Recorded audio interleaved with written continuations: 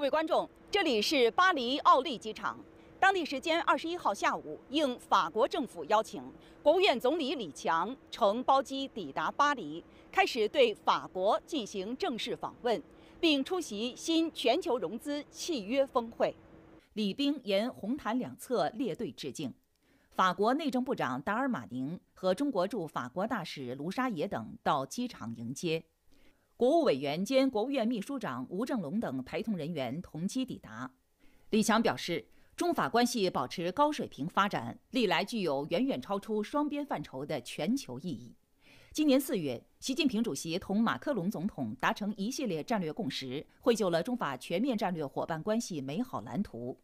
中方愿同法方一道，将两国元首绘制的蓝图转化为施工图，扩大双向开放，打造更具韧性的中法中欧产业链供应链，深化人文交流互鉴，携手应对全球性挑战，为世界和平稳定与发展注入更多信心和力量。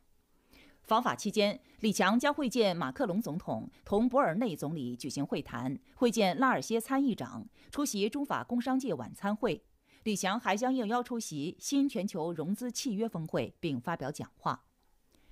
当地时间二十一号下午，李强赴施耐德电气集团巴黎创新中心参观。李强听取了集团董事长赵国华有关集团情况介绍，参观了智能化机器人等代表性产品，并视频连线集团诺曼底工厂，了解集团未来发展规划。李强希望施耐德电器坚持深耕中国市场，不断创新合作模式。表示投资中国一定会收到回报。赵国华表示，施耐德电器是中国改革开放的见证者、贡献者、受益者，看好中国发展，愿持续投资中国，积极参与中国绿色基建和“一带一路”建设。吴正龙参加上述活动。